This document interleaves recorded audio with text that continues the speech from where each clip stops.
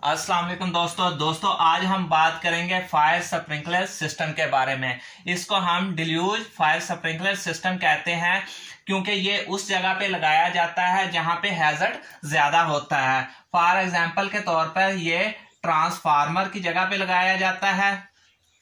दूसरे नंबर पर इसको टैंक हो गए या वेसल वगैरह हो गए, उस जगह पे लगाया जाता है। और तीसरे नंबर पे इसको फ्यूल स्टेशन हो गए जहाँ पे फ्यूल होगा वहाँ पे लगाया जाता है।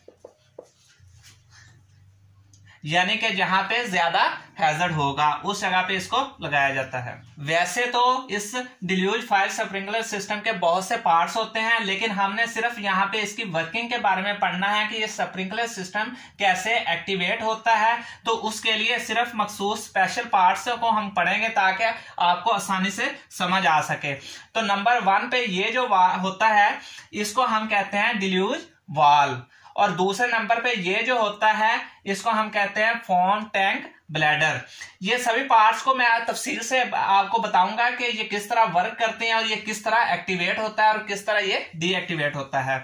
और नंबर तीन पे यहाँ पे जो लगा होता है, इसको हम कहते हैं कंस्ट्रेट वाल्व और नंबर चार पे ये जो होता है, इसको हम कहते हैं प्रोपोर्शनल वाल्व और पाँच पे ये जो लगा होता है वाल्व इसको हम कहते हैं सोलिनाइड वाल्व। और नंबर छ पे जो है, ये जो लगे होता है, ये कंट्रोल पैनल होता है, इसको हम बोलते हैं रिलीज़ कंट्रोल पैनल और सात पे जो होता है फायर स्प्रिंकलर सिस्टम ये वाला, और ये जो लगे हुए हैं, ये डिटेक्टर लगे होते हैं, ये स्मोक डिटेक्टर भी हो सकते हैं। और दूसरे हीट डिटेक्टर भी हो सकते हैं, जो कि हीट को सेंस करते हैं, और ये यहाँ पे लगे होते हैं। अब हम समझते हैं कि ये किस तरह वर्क करते हैं, और किस तरह स्प्रिंकलर सिस्टम एक्टिवेट होता है। हमको अच्छे से समझ आ सके तो हम इस सभी जो प्रोसेस को तीन हिस्सों में डिवाइड कर लेते हैं। ये जो वाला हिस्सा है, ये यहाँ से लेके ये वाला, ये डिल्यूज वाल्व होगा, और ये वाला जो हिस्सा है ये यहाँ से लेके ये फॉर्म टैंक ब्लेडर होगा और ये वाला जो सिस्टम है, ये पूरा ये स्प्रिंकलर सिस्टम होगा। अब हम समझते हैं कि वर्क किस तरह करता है।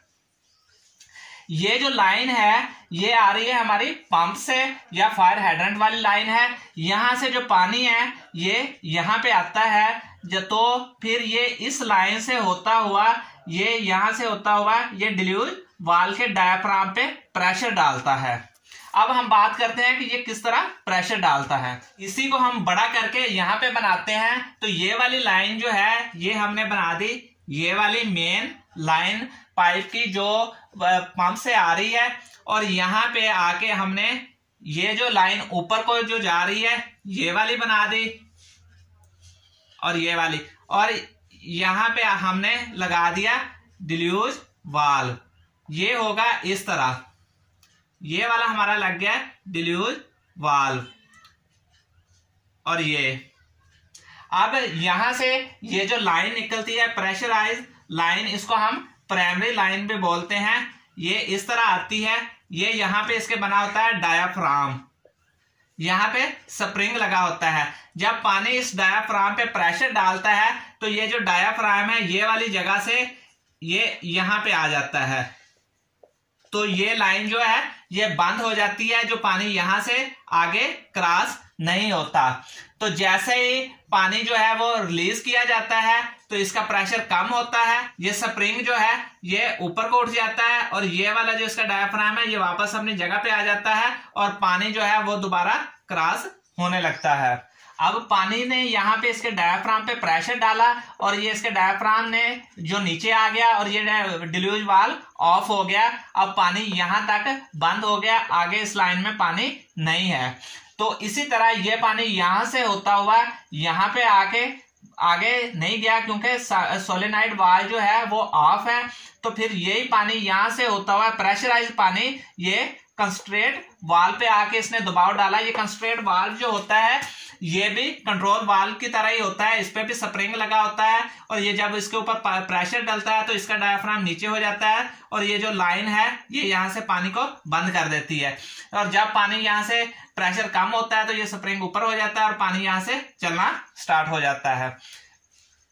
तो अब बात करते हैं आगे। अब ये दूसरे फॉर्म ब्लेडर टैंक के बारे में। इसी फॉर्म ब्लैडर टैंक को अब हम बड़ा करके देखते हैं। तो ये इस तरह होता है। ये जो लाइन है, ये आ रही है इससे नीचे। ये इस तरह। और ये जो ऊपर है, ये यहाँ पे कॉन्स्ट्रेट वाल लगा होता है। अब पानी जो जब यहाँ पे आता है तो ये जो फॉर्म ब्लैडर टैंक होता है, इसमें एक ब्लैडर होता है ट्यूब नमा होती है, जो यहाँ पे ऐसे इसके अंदर डाल दी जाती है। और इस ब्लैडर के अंदर जो है, वो फोम भर दिया जाता है लिक्विड फॉर्म में, जो कि बहुत ही एक गाढ़ा होता है, यानी कि ए ट्रिपल एफ़ और भी बहुत सारे फॉर्म होते हैं, जैसा कि प्रोटीन फॉर्म होता है अल्कोहल फॉर्म होता है इसी तरह के और भी फॉर्म होते हैं, वो ज़रूरत के मुताबिक इसमें भर दिए जाते हैं। अब ये जो प्रेशराइज पानी होता है, ये इसके ऊपर ऐसे दबाव डालता है। जब इसके साइडों से पानी जो है वो दबाव डालेगा तो ये जो ऐसे टाइट हो जाएगा, इसको सुकड़ने सुकड़ने पे मजबूर कर देगा।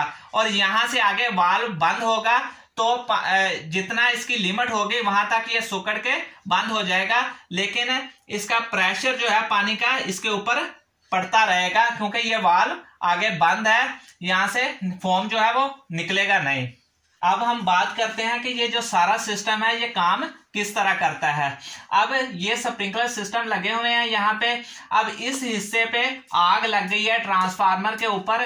तो ये जो डिटेक्टर होगा, अगर तो ये ये स्मोक डिटेक्टर हुआ तो ये जब यहाँ इसका धुआँ जो है, ये इसके स्मोक डिटेक्टर तक पहुंचेगा तो ये इसको सेंस कर लेगा। और अगर यहाँ पे हीट डिटेक्टर लगे हुए तो वो इसकी जब हीट यहाँ पे पहुंचेगी, तब ये डिटेक्ट कर लेगा। अब ये जो स्मोक डिटेक्टर है, एक, दो, तीन, चार, इन सब का जो कनेक्शन है, ये जो वायर है, इसके साथ किया गया है। अब ये वायर जो है, ये जा रही है कंट्रोल ये जा रही है रिलीज़ कंट्रोल पैनल पे। अब ये जो रिलीज़ कंट्रोल पैनल होगा, ये इसको आगे यहाँ से ये जाएगी सोलेनाइड वाल पर। अब ये इसको एक्टिवेट कर देगी सोलिनाइड वाल पर। और ये वाल जो है, ये खुल जाएगा। अब सोलिनाइड वाल को एक्टिवेट ये किस तरह करेगी? अब ये सोलिनाइड वाल जो होता है, ये इस तरह का होता है। इसमें ये इसका हेड होता है। अगर इसका क्रॉस सेक्शन किया जाए तो यहाँ पे इसके जो है, वो मैग्नेट लगे होते हैं। और इसके ऊपर जो है, ये इस तरह कॉयल चढ़ी होती है। और ये जो होती है, इसकी ये मेन पाइप की लाइन होती है जहाँ से पानी आता है और यहाँ से जाता है। अब ये जो इसकी वायर है, इसका कनेक्शन ये वाली जो वायर होती है, इसके साथ कर दिया जाता है। जब ये एक्टिवेट होती है तो इसमें जब करंट आता है तो ये जो मैग्नेटिक होते हैं, यहाँ से इलेक्ट्रोमैग्नेट वेव्स पैदा होती हैं, जिसकी वजह से ये जो इसका हेड है, ये ऊपर उठ जाता है। जब हेड ऊपर उठता है तो यहाँ से पानी जो है वो जाना स्टार्ट हो जाता है। और जब यहाँ से इसको ऑफ़ किया जाता है तो जब ऑफ़ किया जाता है तो उसके बाद ये जो इसके मैग्नेट होते हैं, ये आपस में इसको पुश करते हैं। जैसे कि आप दो मखना तीस होते हैं, उसके एक सिरे को अगर हम मिलाएँ तो वो आपस में एक दूसरे के करीब जाएँगे और जब इसको उल्ट करके दिखाया जाए तो ये इसको दूसरी तरफ़ धकेलेंगे। जैसे ही इसका करंट ऑफ़ किया जाता है तो ये इसको ऐसे पुश कर, धकेलते हैं। तो ये जो इसका हेड होता है वो फ़ौरन नीचे चला जाता है। जब इसको करंट ऑफ़ किया जाता है तो ये पानी यहाँ से आगे जाना बंद हो जाता है। अब जैसे इसको करंट मिला तो सोलेनाइड वाल जो एक्टिव हुआ, और ये वाल यहाँ से, इसका जो हेड है, ये ऊपर को हो गया, और पानी यहाँ से, ये यहाँ पे ड्रेन वाल है, और पानी यहाँ से निकलना स्टार्ट हो गया। जैसे ही पानी यहाँ से निकलना स्टार्ट होगा तो ये जो लाइन है, यहाँ पे ये मैंने क्रॉस किया हुआ है इसको, ये प्रेशराइज लाइन होंगी और इसका जो प्रेशर है, वो कम होना शुरू हो जाएगा। जैसे ही ये यहाँ से प्रेशर ये वाली लाइन जो इसका प्रेशर जैसे ही कम होगा तो ये इसके ऊपर जो डायाफ्राम के ऊपर ये प्रेशर डाल रही होंगी, वो भी कम होना शुरू हो जाएगा और डायाफ्राम जो है, इसका डिलोज वाल का ऊपर को होना स्टार्ट हो जाएगा। जैसे ही ये ऊपर को होगा तो यहाँ से जो पानी है, ये आगे ऐसे जाना शुरू कर देगा मेन लाइन का। जो पानी है, वो आगे जाना शुरू कर देगा। और जब इस लाइन का प्रेशर कम होगा तो ये वाली जो लाइन थी, इसका भी प्रेशर कम होगा। क्योंकि पानी यहाँ से, जो ड्रेन वाल से बाहर निकलना शुरू हो जाएगा। जब इसका पानी कम होगा तो यहाँ पे जो कंस्ट्रेट वाल्व होगा, ये भी एक्टिव हो जाएगा। और यहाँ से भी जो पानी है, वो आगे जाना शुरू कर देगा। अब यहाँ पे जो ऐसे इसका पानी जो इस पर प्रेशर डाल रहा था ब्लैडर के ऊपर तो जैसे ही ये एक्टिव होगा तो ब्लैडर से जो है, वो फॉर्म जो है, वो निकल कर यहाँ चला जाएगा। और प्रेशर जितना प्रेशर इस पर डलता जाएगा फॉर्म उतना बाहर निकलता जाएगा। अब फॉर्म जो है, वो भी इस जगह पे आ गया है, और जो पानी है मेन लाइन का, वो भी इस जगह पे आ गया है प्रोपोर्शनल वाल के ऊपर। यहाँ पे फोम और पानी जो है वो आपस में मिक्स होगा। मिक्स की जो रेशियो होती है, वो तीन परसेंट जो होता है वो फोम होता है और जो सतानवे परसेंट होता है वो पानी होता है, वो इस प्रोपोर्शनल वाल पे सेट किया जा होता है। उसका प्रोसेस बहुत ज़्यादा है, वो मैं आपको नेक्स्ट वीडियो में बताऊँगा कि वो कैसे मिक्स होता है। अब यहाँ पे पानी जो और फॉर्म को मिक्स किया और ये अभी लिक्विड फॉर्म में है। और ये लिक्विड फॉर्म में फिर यहाँ से होता हुआ यहाँ तक चला जाएगा। और यहाँ से जो स्प्रिंकलर लगे होंगे, वहाँ से नीचे बहना शुरू होगा। जैसे ये नीचे बहना शुरू होगा, इसमें एयर मिक्स होगी तो ये जो लिक्विड था, ये फोम की शक्ल इख्तियार कर लेगा। और ये जो फोम होगी, ये जो यहाँ पे आग लगी होगी, इसके ऊपर पड़ेगी जो समुद्री का अमल कर लेगी, उसको ढांप लेगी, और आग हमारी बुझ जाएगी।